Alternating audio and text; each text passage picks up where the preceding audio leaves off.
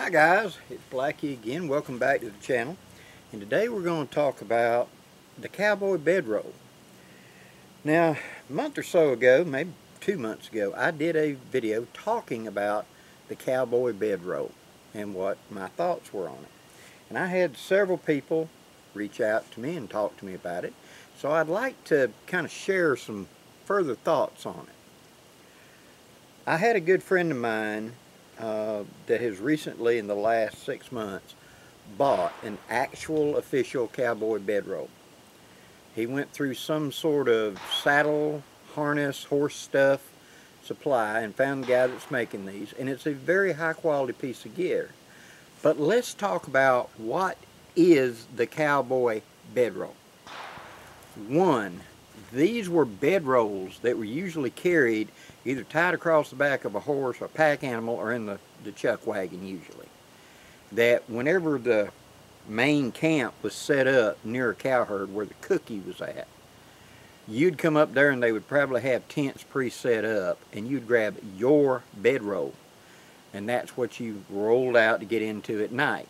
Now in certain cases there were no tents and you just had to roll out on the wet ground or whatever. That's what it was, depending on what you were doing. Okay.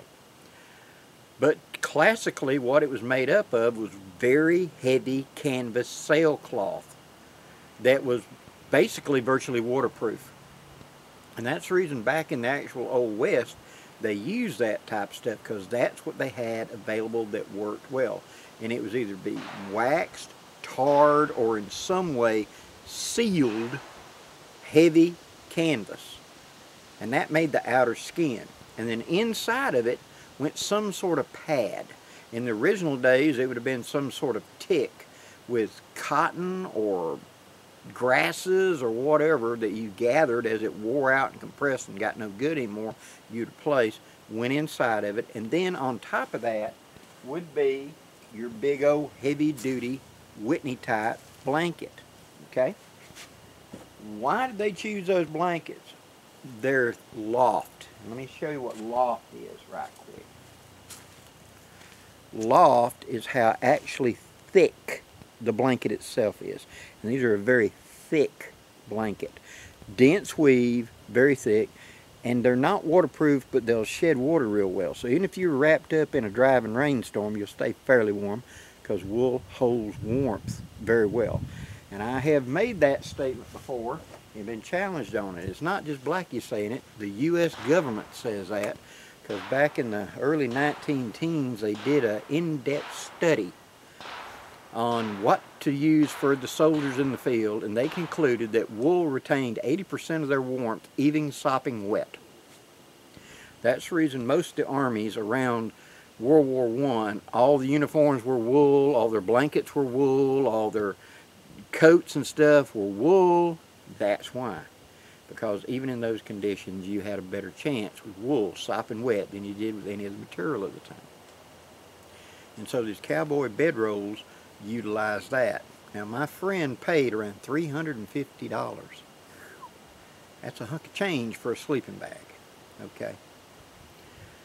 And his modern version is a very heavy canvas duck that it, that you have to sew, fold those seams over, sew them, and then fold them again and sew them so water cannot wick in sideways into the bag. This has to virtually be waterproof so that if you're having to lay in a driving rain, you'll be dry inside of it. That was the idea. Or laying on already wet ground, you could lay down on it and it would be like a bathtub around you. The padding inside of his is a one inch thick dense foam pad. Okay? And then the actual cover inside of it is a heavy wool blanket like that that's been sewed to the inside of it. So you will open it up and wiggle into it like a sleeping bag. Really nice work. And of course the top comes up and folds over so you can fold it over you to protect your head. Very nice. But that was $350. Is there a modern option that I can do basically the same thing for cheaper and better? More like you and I and common man can do it? Well, I think so. Now I already have my big heavy duty blanket. This is an expensive blanket.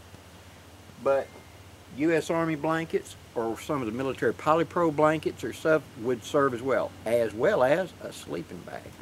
But let's begin with, we need the outer cover to begin with. We need something that's going to be waterproof, something that we can get in and out of easily. So even if it's by itself, I have to lay it down on damp ground, water ain't going to wick up through it. Nor is it going to allow, if I get into rain or something coming on top of it, or if we're just using a, a common lean-to and it's going to blow in the side, it's going to get me wet. So I need something that gives me that kind of protection. And the modern version of that is a U.S. military bivy cover. This is Gore-Tex. It's a whole lot flexible and lighter than my friend's canvas thing, but it's roughly the same size. So when I lay it out like this,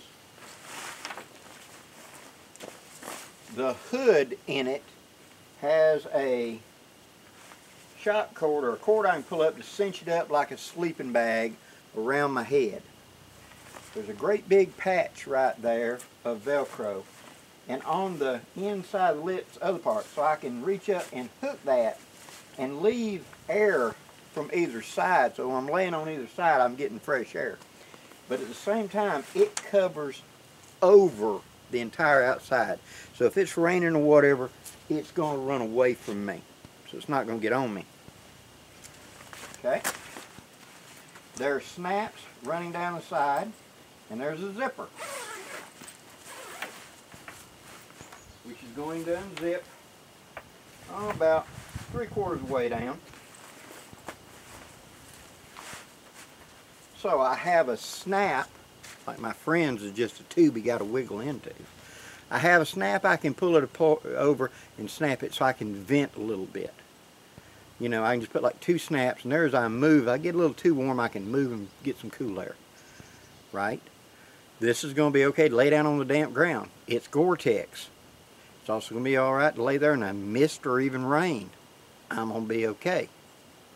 So now I need some sort of padding underneath me. Now my friend's got that one inch thick pad that's sewed into it. I'm going to go with a Thermarest self-inflating mat. Put it right there. Put it in. Roll it all the way to the bottom.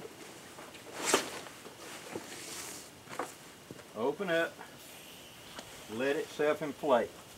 Take these buckles and straps and just tuck them up here in the head out of the way.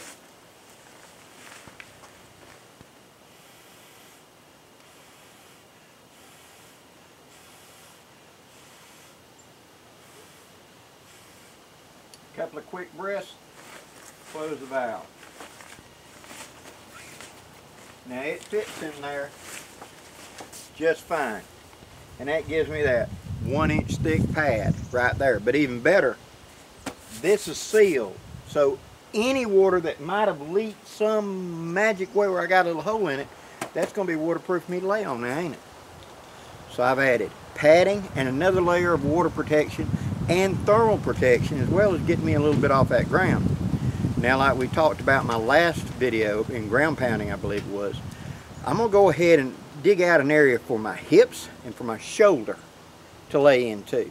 So when I lay down on my bed, I'm more contoured to my body and I get a more comfortable night's sleep as opposed to like jacked up like that. Now I'm also going to need a cover element. So like I said, we can take the blanket and put it in here.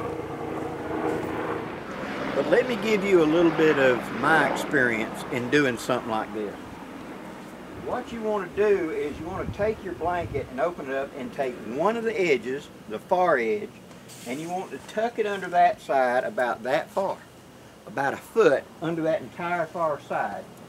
Then take the bottom, tuck it under the sleeping pad, and then up to about your knee tuck it under.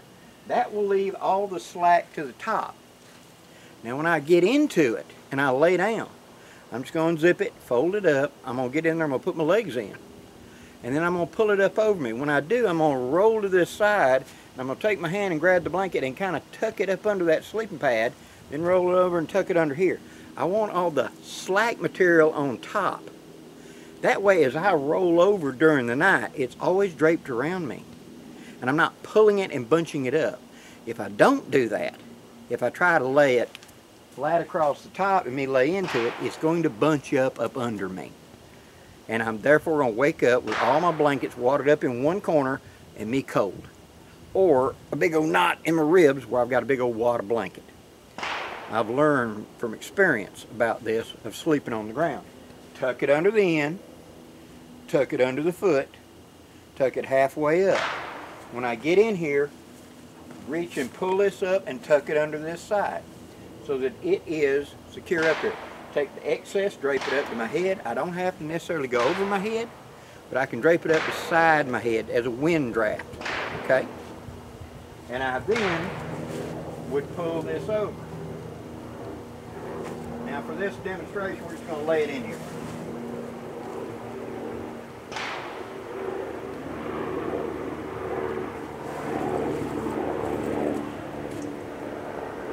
I would then, like I said, zip or snap. The advantage to this military type, let me show you that right quick. This bivy cover already has two zippers on it and the snaps, see? So I can snap a sleeping bag into this, the military MS sleeping system, as well as there is a snap on this to go to the outside. So I can just snap this closed and leave this open if it's kind of warm and I'm just needing the rain cover and dew cover, but I want air. And see it's got this lip. The lip will drape over so I don't get any water running into the bag. So this is already set up to be a cowboy bedroll. As well as it's got the twin zippers, which means I can unzip the foot to vent if I need to, etc. Just like a sleeping bag or just like a cowboy bedroll. Okay, so now I can zip this up to right here. I then have the head right here that I can pull this shock cord on this side and cinch it up around my head, leaving that patch available and all I got to do is just stick it like that, and it's to drape all the way around me and keep me dry. At the same time, it's to trap warmth and keep my warmth next to me. Now, what else should I add to this to add a little bit more comfort? How about one of them Klymit inflatable uh, pillows right quick? This weighs nothing. Take it out of the bag and lay it flat and put it in this. Just leave it in there. I can zip this up except for this very top. That lets air get out. So I can put it right there. Maybe I don't want to use that blanket. Maybe I want to use this. This is a down sleeping bag. This is a North Face down sleeping bag. But it's not ready to be out all by itself. But with that bivy cover and that Thermarest pad, suddenly I got a ground pounding set that is in, in essence a cowboy bedroll right there. Now, I can just roll this up. I do not have to completely break the components back down again. I can just roll it up. If I take, now, remembering I got that inflatable pad in there, I come right here, open it up to let the air out now.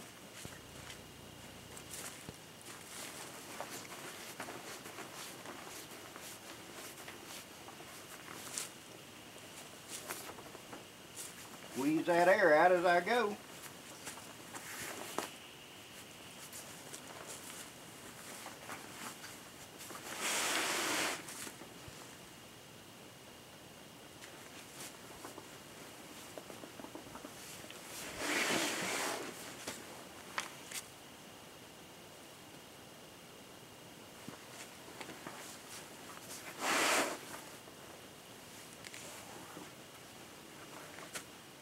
So, I have a cowboy bedroll.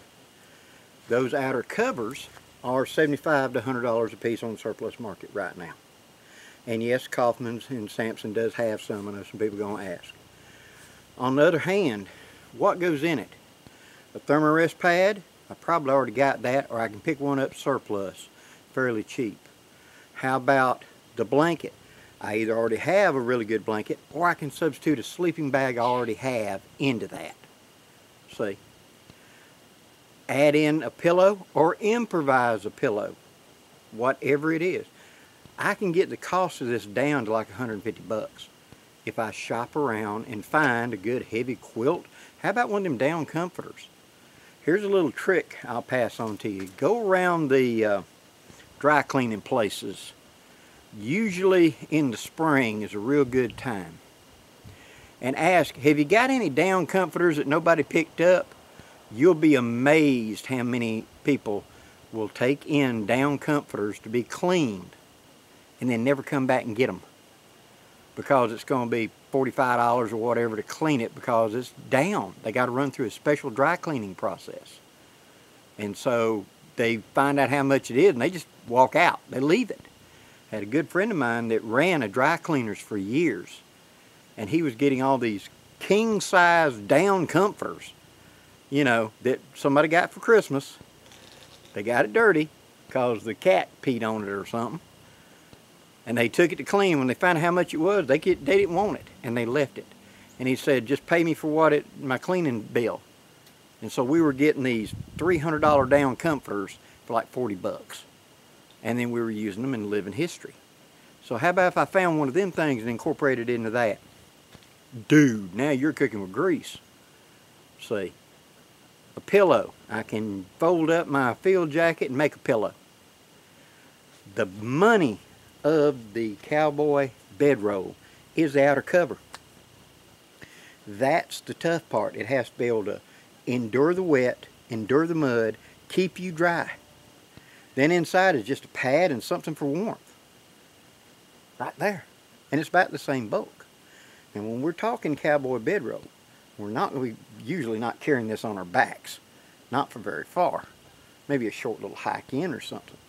But these are going to be carried on ATVs, back of the car, canoes, kayaks, snow sleds, whatever. That's when these big winter camping bundles come in. Even the cowboys didn't carry them unless they were tied to a pack animal or carried it back in the chuck wagon because they're just so bulky. Yes, they're fantastic as far as a bed. I could afford to put even like, you know, Thermarest makes camp pads that are up to three inches thick. Now you're to pay for that. But if I start out with this, I could upgrade a little at a time. I couldn't. I picked that up as surplus, the outer cover. Already had a blanket. Already had the Thermarest, which I had picked up at a garage sale for 12 bucks. You know, that great big old huge Thermarest that somebody never used. It was still in the factory wrap, and it was 12 bucks to me. So if you look around, your little common man and a, you know, as my granddaddy used to say, got a little Scottish blood in you, you'll find a way. The concept of the cowboy roll is valid for ground pounding, especially today in ATVs, canoeing, kayaking, car camping, etc being able to just go out and throw out the bedroll and lay under the stars and look up, not even have a tarp. Add a tarp to this, you're golden. See, it's just the mindset. But the money, the hard part, is that outer cover. So I recommend a MS Sleep System bivy cover. They're available by themselves on surplus. Pick one of those up and then build your cowboy bedroll yourself. Ultimately, it's up to you how comfortable you want to be. Thank you very much for watching, guys. If you've enjoyed this content, please hit the like, share, and subscribe before you go. I'd really appreciate it. Till next time, guys, I'm Blackie wishing you safe journeys. Have a great day, guys.